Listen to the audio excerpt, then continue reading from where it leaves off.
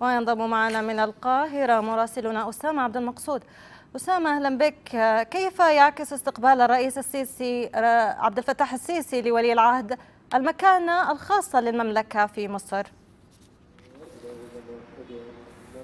أهلا بك. يعني هذا الاستقبال الرسمي الحافل هنا في مصر لولي عهد المملكة الأمير محمد بن سلمان يعكس أكثر من شيء يعكس المكانة الكبيرة للمملكة لدى القيادة المصرية ولدى الشعب المصري وأيضا مكانة ولي العهد الأمير محمد بن سلمان وحجم التعاون والتنسيق المشترك بين الجانبين. كان استقبالا كبيرا ومستمر خلال أيام الزيارة. يعني الآن جلسة مباحثات بين الرئيس عبد الفتاح السيسي وبين الأمير محمد بن سلمان بعد الاستقبال الرسمي في المطار. وسوف تكون هناك جلسة مباحثات للوفدين.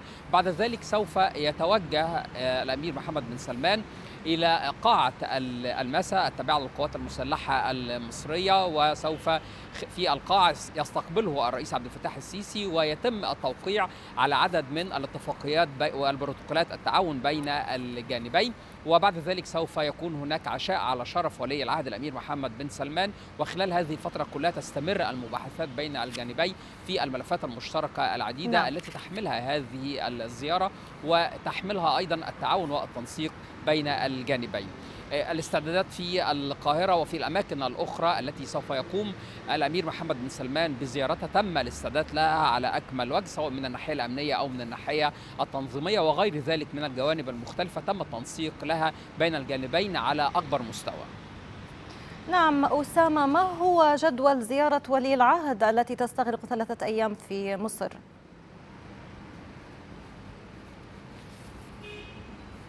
يعني هذا الجدول حافل بالعديد من اللقاءات والزيارات. كان المتحدث الرسمي باسم رئاسة الجمهورية قد أشار إلى أن الأمير محمد بن سلمان سوف يقوم بزيارة العديد من الأماكن التي تشهد مشروعات تنموية في مصر وأماكن أيضا أخرى مختلفة.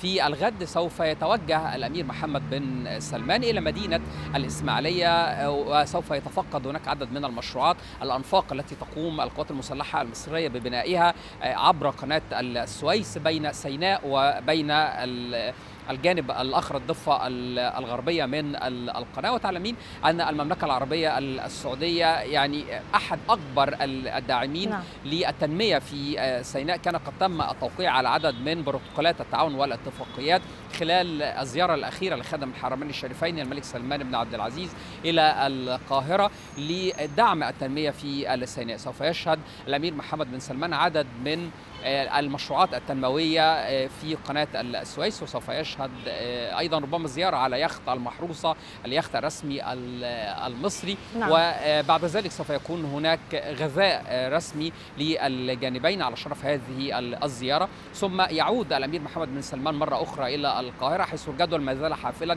بعدد من اللقاءات. سوف يتوجه إلى مشيخة الأزهر ويلتقي الدكتور أحمد الطيب شيخ الجامع الأزهر. وهناك تعاون كبير وتعاون وثيق ممتد عبر السنوات بين الأزهر الشريف هنا في مصر وبين المملكة وبين المؤسسات الدينية في المملكة العربية السعودية، بعد ذلك سوف يتوجه الأمير محمد بن سلمان إلى الكاتدرائية المصرية سوف يلتقي بابا الكنيسة المرقسيه المصرية وهذه أول زيارة له إلى الكاتدرائية، سوف تكون هناك زيارة أيضا إلى دار الأوبرا المصرية، هذا في اليوم الثاني سوف بعد ذلك سوف يتوجه في مساء هذا اليوم الثاني غدا إلى بيت السفير السعودي بالقاهره وبالقطع سوف يكون هناك لقاء خلال هذه الزيارة يعني الجدول حافل بالعديد نعم. من اللقاءات ومع شخصيات مختلفة من المجتمع المصري وتيارات مختلفة سواء شخصيات سياسية أو شخصيات اقتصادية. نعم مراسلنا من القاهرة اسامه عبد المقصود شكرا جزيلا لك.